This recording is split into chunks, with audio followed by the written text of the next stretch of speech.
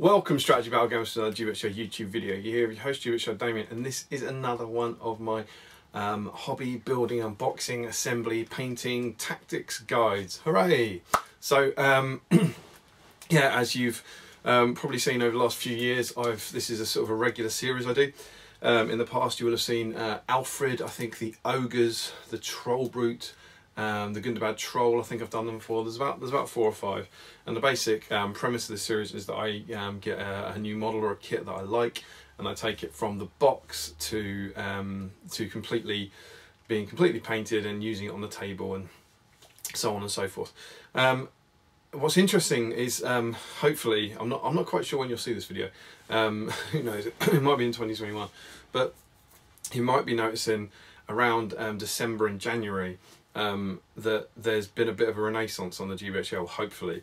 Um, I'm, I'm doing the rough maths in my head and I think I've got seven videos that will be out within a sort of four week period. So I'm not sure quite when this will fall, but um, you, you, should have seen a lot more videos. Now, as a result of that, I've actually, as I'm recording this now, to give you some clue, oh, I've held my phone on the floor, it is the 17th of December as I'm recording this now, I've actually got two of these other two of these videos in progress, um, sort of work in progress ones that um, didn't get finished, um, and there's a chance that at least one of them might get finished before this one and go up. So I, I honestly don't know, but you might be getting two of these in um, in quick succession. But um, either way, hopefully that's um, kind of exciting, and hopefully you're enjoying what should be a bit of a rebirth for the for the channel over over this month. quite how long it lasts, I, I don't know but hopefully you've got a lot of content to um, to listen to while you're painting over the holiday break. So, um, as I said, this series is completely irregular. Um, I have no rhyme or reason for why I pick the kits I do, but they they generally the thing they all have in common is they're kind of self-contained.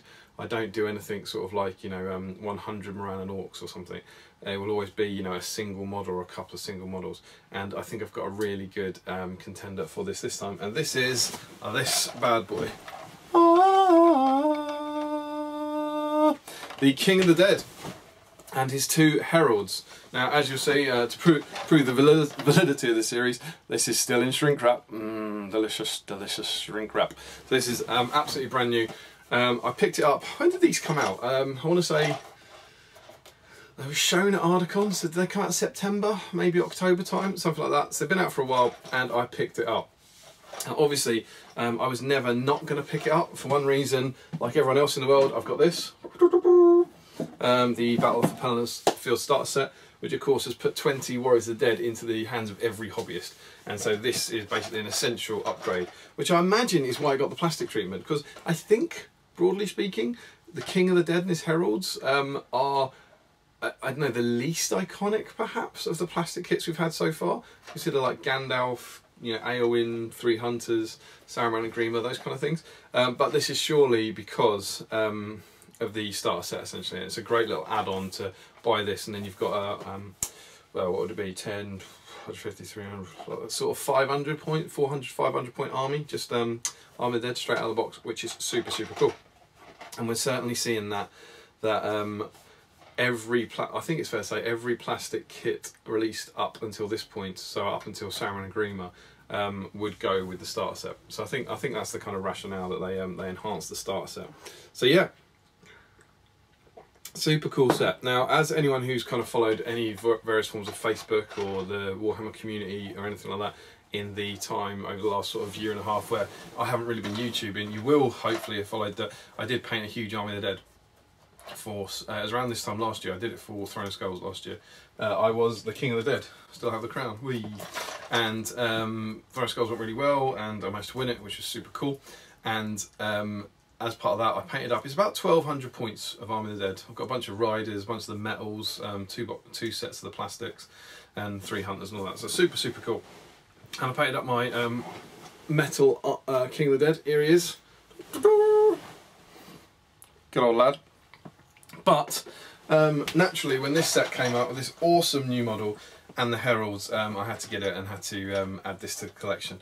So um, I'm really excited to kind of to kind of get these going, and that will entirely complete my uh, Dead of Dunharrow force, uh, which is quite exciting. Uh, the other reason I picked this one these vlogs is whilst there are three models for the first time instead of one, um, they're really easy to paint.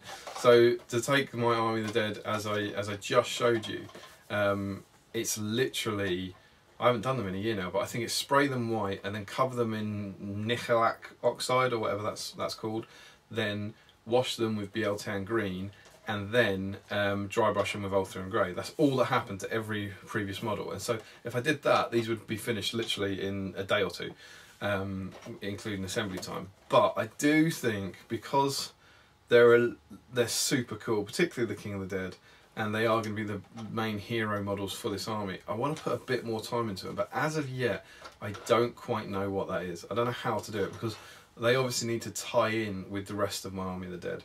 So um, I'm not quite sure what I'm going to do. My, my current thinking is that I'm going to paint them exactly the same as all my other um, Army of the Dead guys, but then kind of start adding some washes to them, some kind of red, he's got a kind of reddy purpley cape, hasn't he? So kind of adding that and adding a few washes over the banners and try and um, try and keep that very distinctive colour that I've got for the rest of the Army of the Dead, whilst also um, making these guys stand out a bit more. And I'm thinking with the King of the Dead in particular, maybe like painting on some highlights rather than just dry brushing them. But um, the the problem with that, of course, is that you're going to um, you're going to loot you're going to make him stand out too much from the rest of the army, which I don't want. He still needs to look like a ghost that fits in with the rest of them.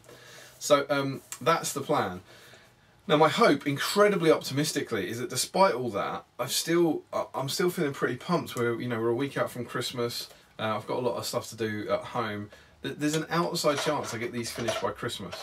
Um, I think I'm acknowledging to myself that that is an outside chance though, and the odds of this video being up before Christmas are probably slim. But either way, these will be the next models that I kind of complete painting. Um, I'm quite sure of that.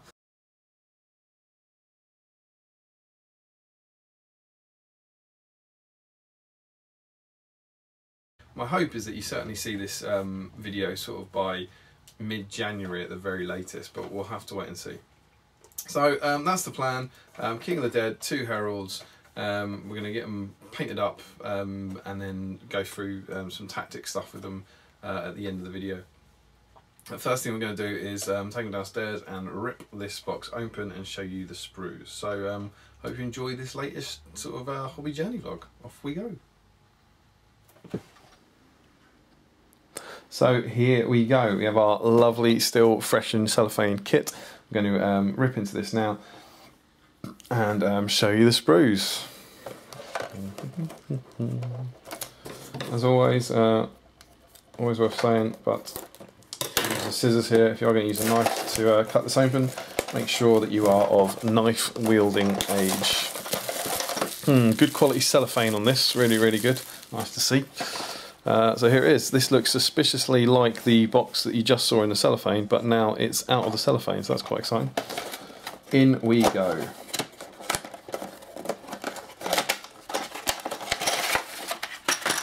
Mm, delicious. I think I might do a cheeky zoom out.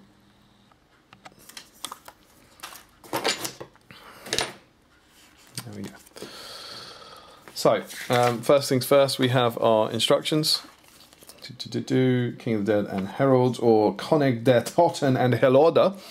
Um, we have a lovely little um, assembly guide, uh, which we have here, shows you where the glue is going to go, um, which bits to glue on and so forth. Really nice guides from um, GW these days. And on the back we have the uh, same guide for the Heralds. So pretty cool, so should be pretty good fun. And here they are. Oh, this is so exciting. These plastic kits really are a um, really are a treat. I always get super excited when I open one. So it's it's nice to be doing this kind of on uh, on film really for for once. so we have two sprues in the kit. Um, let's go and have a look at them now. So we'll start with this one, which is the King of the Dead. There he is. This model is absolutely gorgeous. The detail on that. He's absolutely incredible. So much kind of character in there. Is this the most improved miniature we've seen released? From the metal one to this. This looks like it'll be the back of his cloak. You can see the kind of um, way it all kind of flows. Uh, a thing that a lot of people made the fact of, I'm trying to show this off, is that he's hollow. Can you see that you can see the white through him? So there's actually a lot of depth in there. Now it could potentially be a bit of a problem for painting, um, but it's a good problem to have. That look, that little circle there looks like it might be the top of his crown. And then up here we've got his sword. and lots more bits of him there. Oh, and there's another sword there. Now, the King of the Dead, I'm pretty sure only has one sword, so one of these must be the sword of the Herald. You can see the kind of different flowing parts of his cloak there as well, which are kind of cool. Really, really lovely stuff. I think this down here, actually, these two cloak bits, now that I'm focusing down here, I think these might actually be a Herald rather than the King, because I think the King is just these parts here, probably but it's absolutely stunning. Um, the Heralds I'm kind of excited by. I think they're cool models, but I don't particularly think I'll be using them too much. Whereas the King of the Dead um, is is just a stunning, stunning model with a great profile. I can't wait to get on the table. Um, around the other side, you can just sort of see how the plastic goes in. Again, you can sort of see how his rib cage is hollow there, um, and how these bits bits will start to join together. Lovely stuff. And then let's have a look at the second sprue, um, which is here. So you can see we've got the two banners on this one, although they don't actually count as banners. Um, lovely, lovely detail it. This is the sort of thing I was talking about earlier that I think I might try and bring a bit of colour to the banners to make them stand out, kind of faded um, colours in the same way as his cape. Uh, the sword of the other herald. The second banner is here. Very, very cool stuff. And then this will be the other herald. That'll be that's obviously his back, and here's his cheeky little face. Hello, I am a herald. Very, very, very cool. People were waiting a very long time for these. Feels like a really, really good release um, to end Gondor of War. I think it was the last release for Gondor of War, and to get a kind of plastic kit of this quality um, with such highly anticipated um, models. Is that shield? Yeah, I think we've got got one shield for a herald here and another shield for a herald here. Um, so it's nice to see them having kind of custom shields on there as well. Um, they look absolutely stunning. Absolutely stunning. So I am really excited about these. So we've got these two sprues um, for the kit.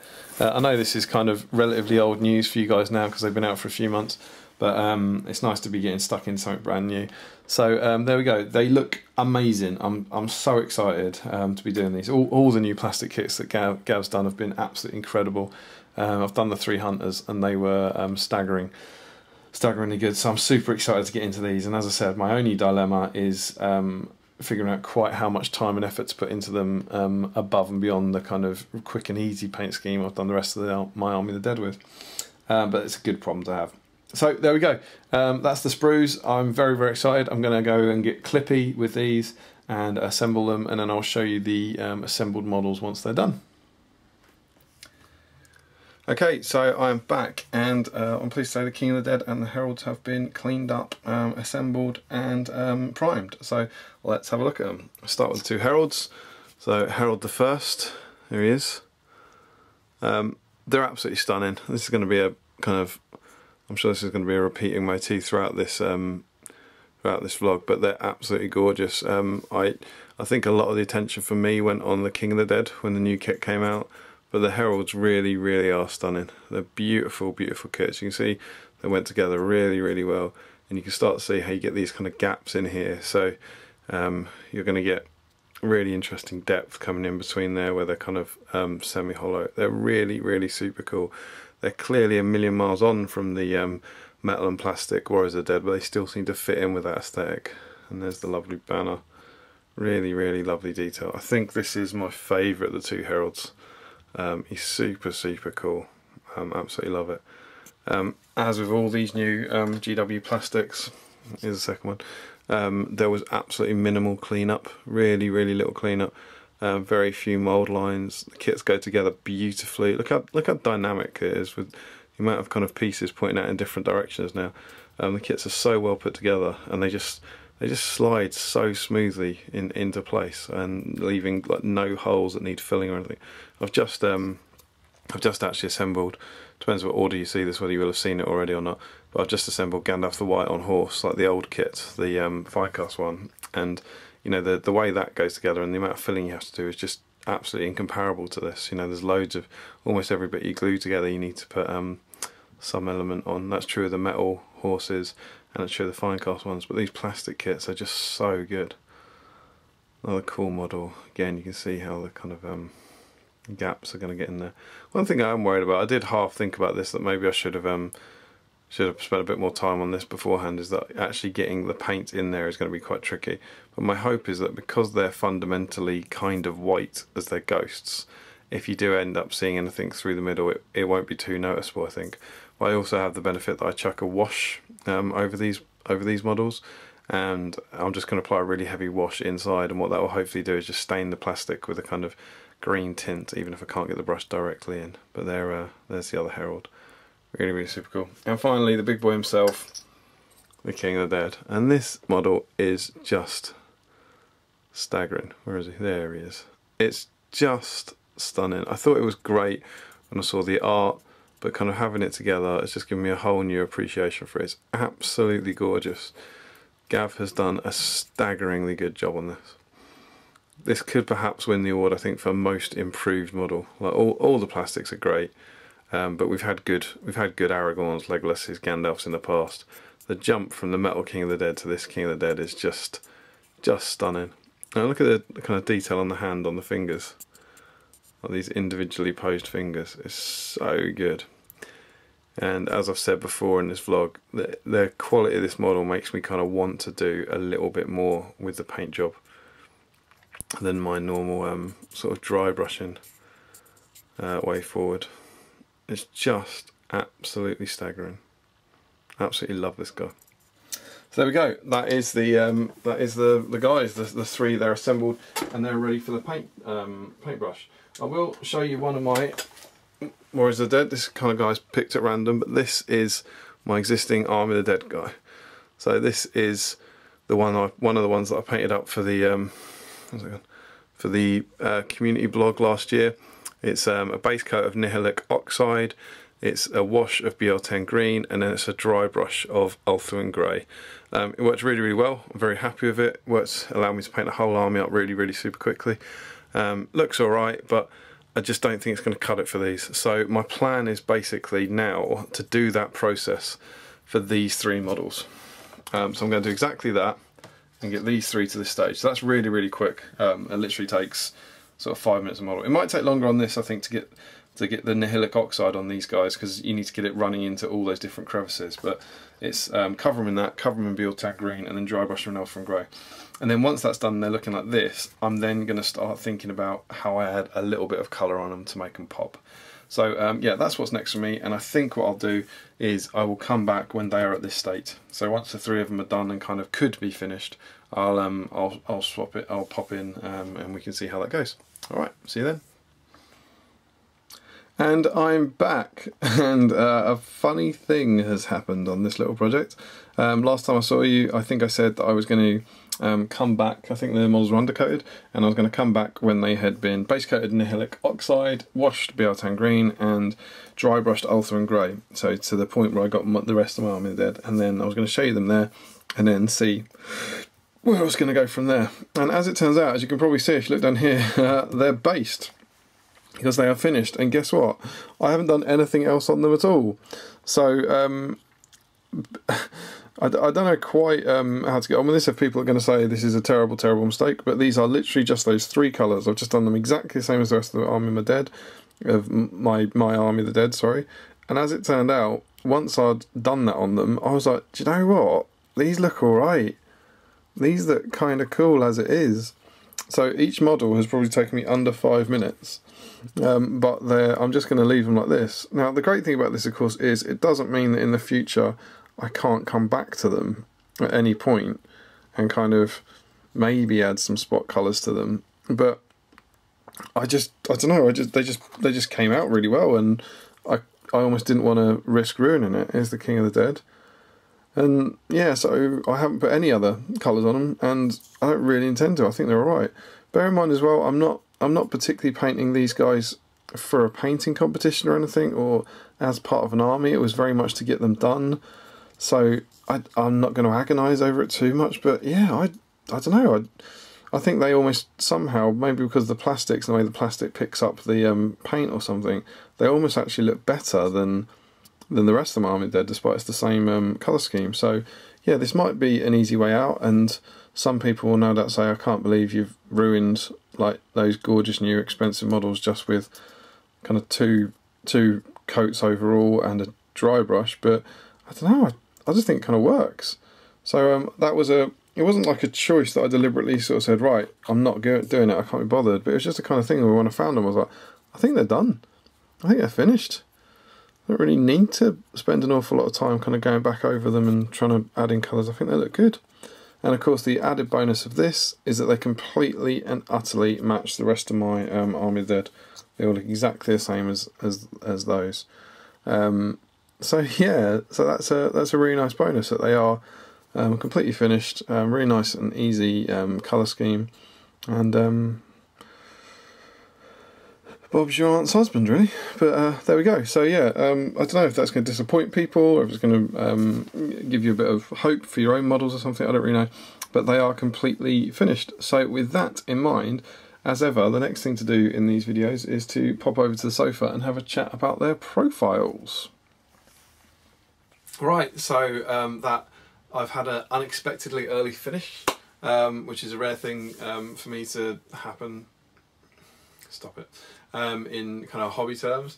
Um, so what that means is we can jump straight into the tactics section. Now normally the way these these vlogs work is that I'll um, I'll use it, I'll, I'll paint the model up and then take it to an event. Uh, but that's that's not always possible. And the thing about the King of the Dead and the Heralds for me is that that was kind of my last year. Um, you know, I took I took I painted up most of my Army of the Dead to take it to Throne of Skulls in 2018. Um, yeah, 2018, and then I took the Return of the King Legion to um, the Grand Tournament. I took the Return of the King Legion to Ardacon, and I took um, I took a pure Dead of Dunharrow force to a, to a small tournament as well. So I feel like actually I, have already done that bit, and I don't have any particular plans to take these models to an event soon. So I won't be doing it based on a new event, but I have, as a result of that, kind of ended up with a fair bit of experience. So hopefully have a brief chat about them. So where I want to start basically is with this book. Let's start with this, The Armies of the Lord of the Rings, because uh, this is what really kind of put the Army of the Dead, the Dead of Dun Dunharrow on the on the table, and it really is the um, the King of the Dead. So um, this is the old um, book that we would have used. Um, it's weird how flicking through this now seems like an antique. You know, it's the, the new edition's what a year and three months old or something, but it already feels like God. Do you remember? Do you remember this? Do you remember these days? And the big change was really to the King of the Dead. So basically the warriors. The warriors got the i think they got the spectral walk buff. I i, I see this is where i mean i get confused. I thought this was actually in this edition. Maybe it's an FA, in an faq but it's not in here. So the ability to walk over water um, is a new bonus for them. Um, and the uh, riders of the dead their horses became defense 6 instead of defense 4 which is amazing. So that they were some nice buffs them but what really transformed them the dead of Dunharrow is the King of the Dead, who went from fight four to fight five, one attack to two attacks, and zero might to one might. So that's three buffs, and he, he didn't go up in points. He was 100 points then, he's 100 points here. But three buffs, an extra point of fight, which is really, really useful throughout most games for kind of winning fights against troops beyond anything else. Um, he got an extra attack make him, um, again, better at winning fights, and he got a might point and he has the ability to heroic strike. And all of those things made him far, far more effective to make use of his um, drained soul, isn't it? Uh, yeah, drain soul rule, where if he causes a wound, he kills something instantly. Suddenly, the fact that you've got you, um, your slightly higher fight to to win those fights. You've also got two dice when rolling um, helps. And of course, he has access to heroic strike, as having the might point allows him to heroic strike. So, what the King of the Dead became was this almost almost once a game. If he's your own hero, it's once a game. Kind of pick the thing that you want. I, I used him a lot like this. Pick the thing that you want to take down, and that's what you use your might point for. I, I remember playing a pure Dead of Dunharrow force at 500 points, and so you have one might point on the table back then. Um, this was before Gondor at War came out. It was just for this, and I would I would look around. I'd, I'd never heroic move. There was just there was no point in it. But you would pick the one target in your opponent's army, um, hope that you wanted to take down. It was normally a, normally a kind of mightless monster or a monster that couldn't heroic strike. Um, get in there with the King of the Dead, strike up, and then and kill it in one. Um, and he became brilliant at that. And also the the final kind of huge buff was that if you just took a pure army or a, or a historical alliance, the King of the Dead got Harbinger of Evil, um, which was which was super super cool.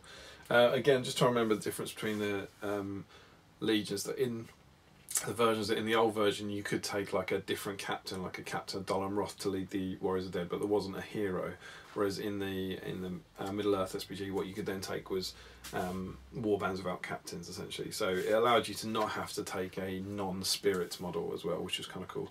But yeah, the the Harbinger of Evil was amazing because um, it work it works twice, doesn't it? It works once you get a minus one for um, models having to charge you.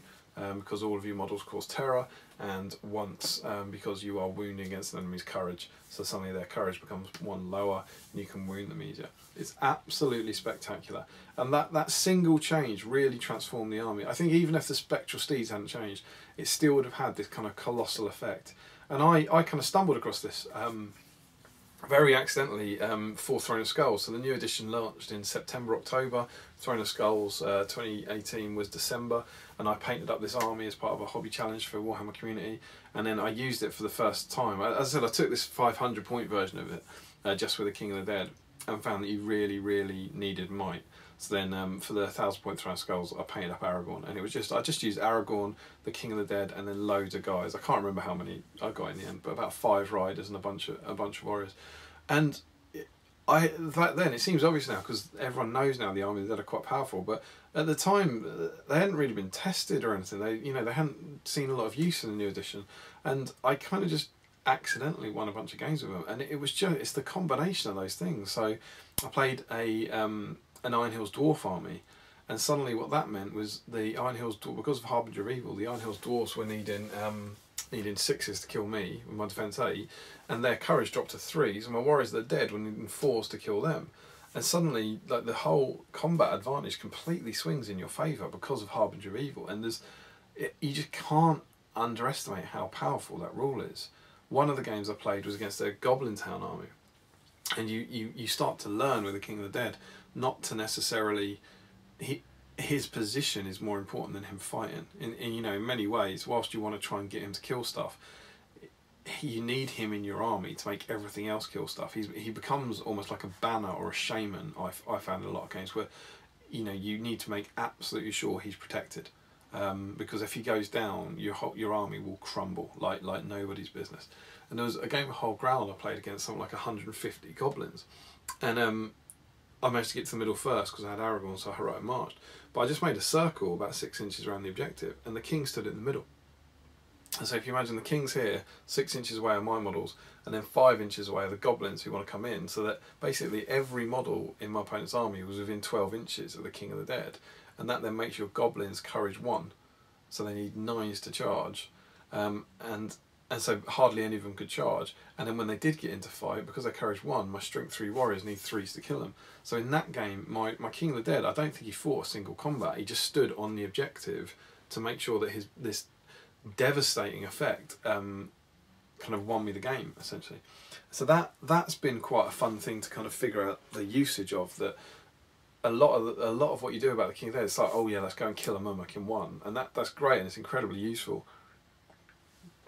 But Harbinger of Evil is hands down his best rule, um, I think, for the army, and kind of the effect it will have on you. So, so when when you're using this this gorgeous new model that is really, really, really stunning, and I absolutely adore it. Um, you, you need to think about his positioning, and and that that's the most important thing. Um, he only has one might point, certainly certainly in here, and as I said, I nine times out of ten um, saved that for heroic strike. Particularly when you then put Aragorn in the list, as you could through the Rangers um, faction, and you still can through the Rangers faction. Um, suddenly, you then you can use Aragorn to call the heroic moves and have a bit more board control, which is obviously what I was doing at Throne Skulls, and still keeping that King of the Dead's uh, might for one crucial heroic strike um, to go in. He, he's deadly. He's a he's a terrifying model to, to face on the on the on the battlefield and um, and he's really he, he's really kind of cool and he's a good iconic leader and he, it's a it's a fairly simple small set of rules that really transform the Dead of Dun Harrow from a kind of fairly laughable thematic faction with you know a one-off chance. I, I think it's Seven Stones one year. Um, Kieran Street killed the Balrog with the King of the Dead. You know, like a single dice attack somehow he won the fight, probably with another hero. Single dice attack needed whatever he would have needed, a six by six, and he, he kills him in one. So he always could do it, but now now he feels like he should. You know, if he if he gets in there with his two dice, wounding against your courage, he's probably going to do that wound. And uh, there's an awful lot of things out there with like a single fate point, and he's got a good opportunity to do two wounds. In which case, you ain't going to stop it, and you and you're going to die. Um, so he's really cool. Um, so that that was that was kind of cool. And you know, for the last whatever three months of 2018, the Dead of Dunharrow became quite you know very very popular. You know, everyone got them in the Pelennor set. They're easy to paint, so you're seeing lots and lots of forces um, coming up.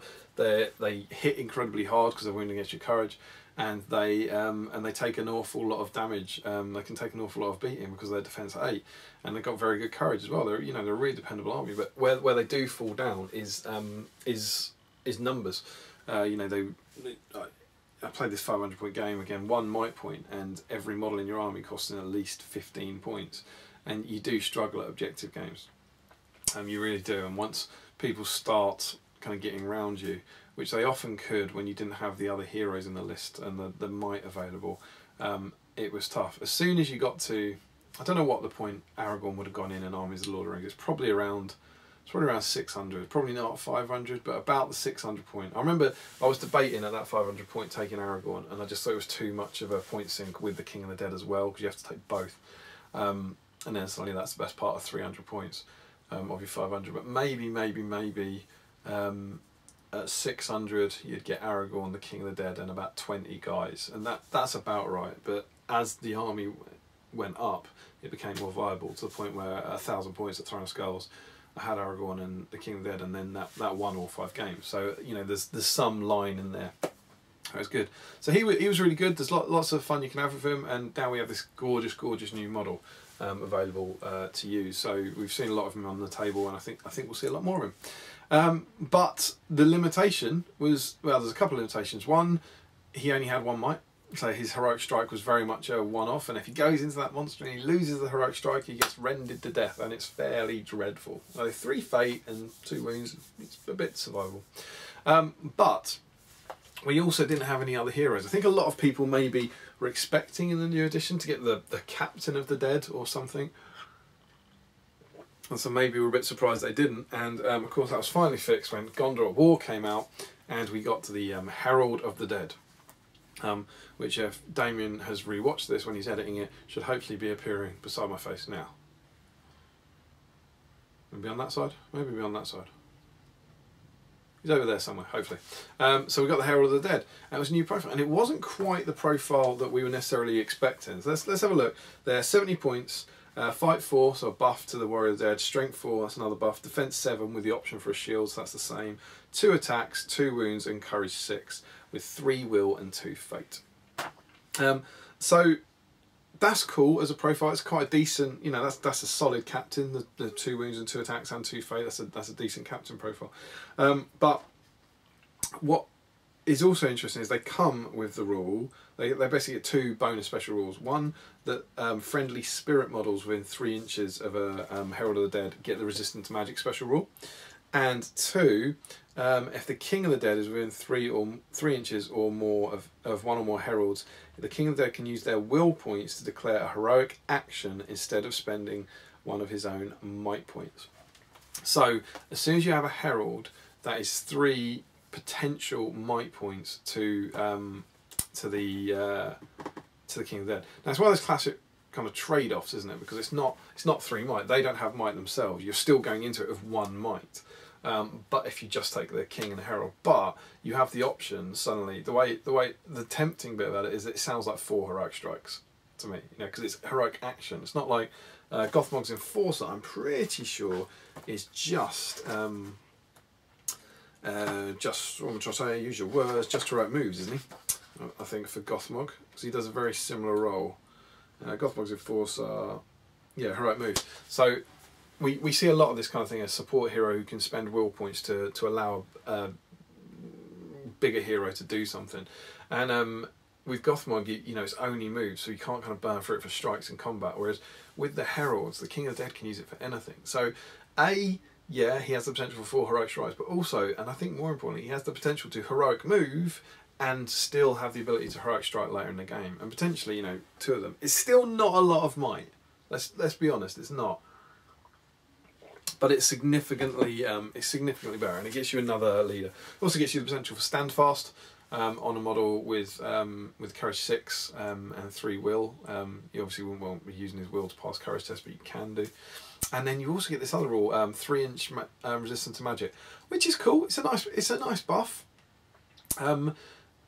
It only affects spirit models, so we'll talk about the legendary legion in a minute. So it doesn't kind of protect Aragorn, Legolas, and Gimli um, from that sort of stuff. The King of the Dead himself has six will, so he doesn't necessarily need it. So what it's really doing is protecting your warriors. Now, obviously, it's not too often, I suppose, that your warriors are the targets of magical powers rather than um, rather than heroes. You know, sometimes they they they want people want to kind of command them out to charge in heroic combat. We know this, and Sorcerous Blast a model who can't resist into a model who can resist to kind of do a bit of damage. You know, we, we know we know the tricks, but um, what it does also do is give you protection against things like Nature's Wrath, um, where you you know every model in your army has the potential to kind of resist um, area effect spells, which is cool.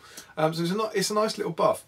And th- those are the two rules basically, and it's whether or not those two rules are worth it. I, and the way I always look at it is, he costs seventy five points because you've got to give him a shield, right? Um, and two Warriors of the Dead with shield are thirty two points, um, and that's what you're kind of getting because you get two attacks, two wounds, and two fates. So a bit more, but you get you get kind of kind of the damage output of two Warriors of the Dead. Um, so that's your that's your thirty two points off seventy five. So it's about forty three points. You're paying about forty points for those two buffs.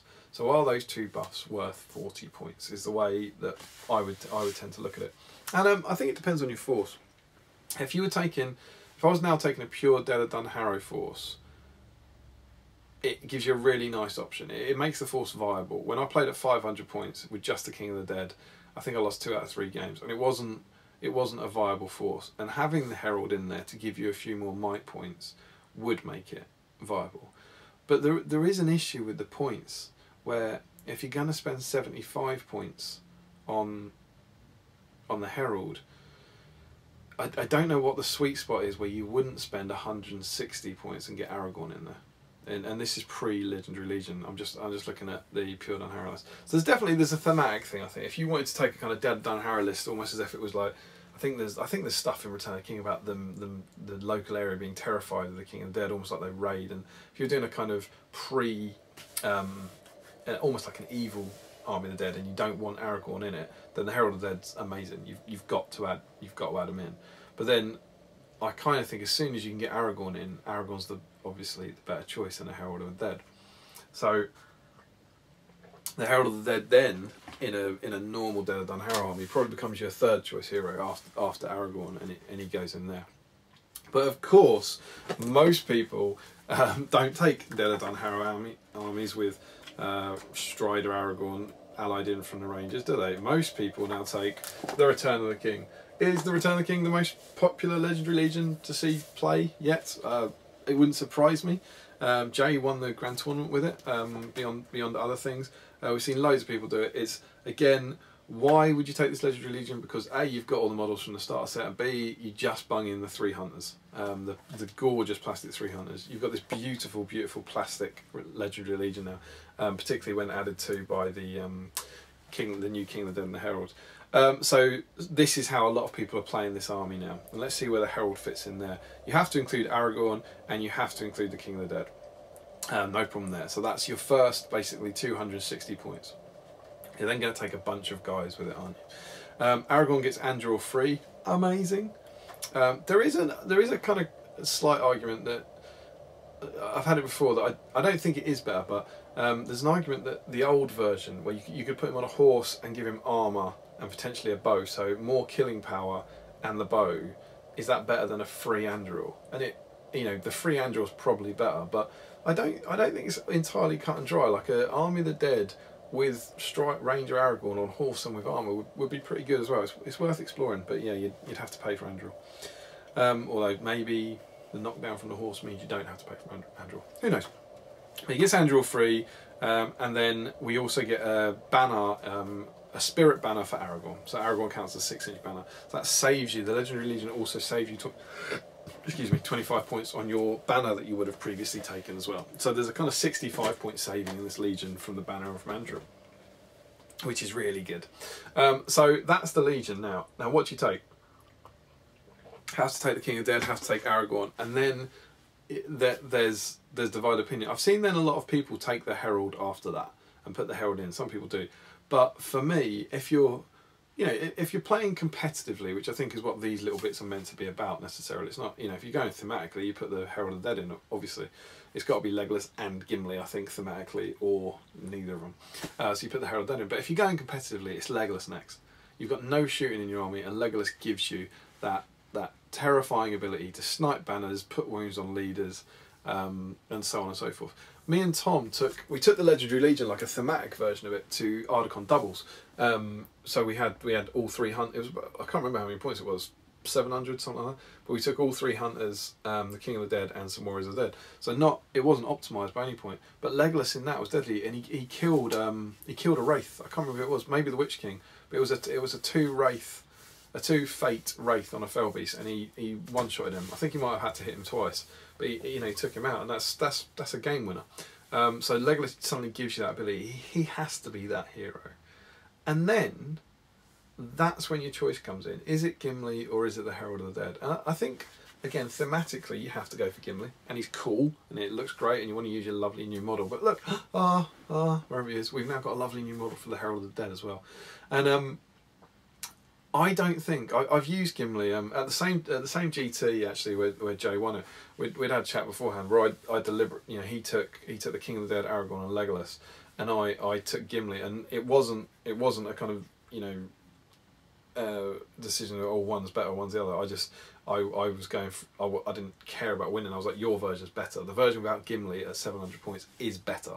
Like I don't think Gimli brings a lot to that army at all beyond a kind of thematic um, pace. And what what Gimli does is he, he chops things up well and he can take a lot of beating. And what does the army of the dead do? They chop things up well and they can take a lot of beating. So Gimli, everyone wants to take him because everyone loves Gimli and they love the three hunters, but he doesn't add a lot to the army that you need. He really doesn't give you a lot of functionality in any way, whereas the the Herald of the Dead does.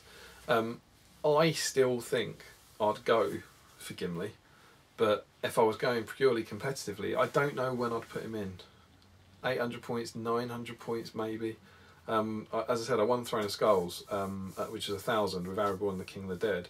I would easily put Legolas into that list to make it better at a thousand points, but I don't think I'd put Gimli in. Like to put Gimli in, you you sacrifice maybe is it six warriors, seven warriors? Seven warriors or Gimli, and for me that's seven warriors all day. And so that that's where the, the debate comes. But would I put Herald in at a thousand points now? Maybe. And so that that's the that's the interesting dilemma I think you, you have. That if you if you want to play it competitively for me and you're playing it as the Legion as you probably are, the Herald is your your joint fourth pick of hero. I think depending on depending on if you want him. I think you go King of the Dead and Aragorn because you have to. You then put Legolas in, and then um, you might put the King of the Dead in, or you might um, you might put Gimli in. Sorry, not the King of the Dead, the Herald of the Dead, or you might put Gimli in. That for me is where where he slots in. Um, so what what I love about that is it's not an auto choice. You know, it's this. A lot of people moan on the internet about power creep and stuff, and it's not. The Herald does isn't this kind of mini King of the Dead who you have to have in your army at the expense of everything else. He's a really really cool thematic addition to the Legendary Legion that that makes you think about it. And as I said, I've seen some people putting him in as the first hero before Legolas. Maybe people don't like splitting Legolas and Gimli up. I've seen people put him in as the hero after Legolas, and I've seen people not include him at all. So that I, I think that's good game balance and game design really, because it means that you know different people think that he's got more or less of a use than, than other people, which is which is super super cool. So there we go. That that's kind of how I think the Herald Dead fits into the game as as it is now. Um, quite when you use two of them, I've got no idea. You're probably talking like uh, mega points, but it's nice to have a kind of choice of the of the models. And as well, um, you might well find that um, they're not actually banners. They don't count as banners, so they might make nice banner proxies if your um, if your opponent agrees with that, um, which most people would in casual games. They're um, they're they're lovely kind of models with the with the flags as well. So there we go. That's that. I think that's hopefully given you a chat about it. Um, am I alright? I feel fairly up to speed with this. I, I'm not. I'm not kind of in touch with the competitive scene nearly as much as I used to be, but I've played a lot with the King of the Dead and, and the Return of King Legion, uh, so I still feel fairly confident in what I'm saying about this. Um, but as always, these are only my own views and opinions, and do not represent the views of um, better players uh, than me. But um, let me know in the comments below what you what you think about the King of the Dead and the Herald of the Dead these days. As you know, the meta of the new edition is starting to settle. Is it? Um, so you know, how are they fitting in? Is there a role for the Herald of the Dead there? Um, and have people found enough ways to deal with the King of the Dead? I'd, you know, I'd love to hear from you um, on that and see what you think. Um, that's the end of this vlog. Um, it's probably about an hour, is it? These things normally end up at about an hour by the time they, we've unboxed everything and painted it and all that. So hopefully this has been a good um, little chunky bonus video. This has probably been the quickest one I've ever done in a way. I think the, the whole thing's been done in about two weeks from unboxing to uh, Tactics Box. That's good to get it done and get it sorted. Um, I think you will have already seen the catapult one. I've got one, mm, well, I think the Mordor catapult one's coming out before this one is, but we'll we'll have to wait and see. Um, and I so I've done two of these in fairly quick succession, or got two of them finished in quick succession. I don't know what the next one is um, at the moment. I haven't I haven't started one. I'm waiting very much to clear the decks on these two, um, but um, I'll I'll have a dig around the models I'm planning on kind of painting up from scratch. I've got a couple of ideas about what I might do for the next one, but we'll we'll have to wait and see. Um, but yeah, they're they're fun to do, and I like them, and I like building up this little series of kind of fairly arbitrarily picked sets. But I um I hope I hope you're agreeing and you you're enjoying them as well, and uh, happy to see more content on the channel. So there we go. Hope you enjoyed it. Until next time, don't forget to comment, like, share, and subscribe. Support your Hobbit host by clicking the links below. Like us on Facebook. Support your Hobbit hobby and happy strategy battle gamer.